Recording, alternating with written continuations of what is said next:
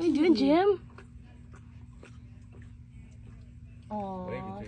My kittens don't get to do that anymore. They're brothers. They used to, you know, kiss each other and lick each other and cuddle each other. And one brother's gone. Oh, I'm sorry. Four days now. Five. Well, this should cheer you up. You gotta get another one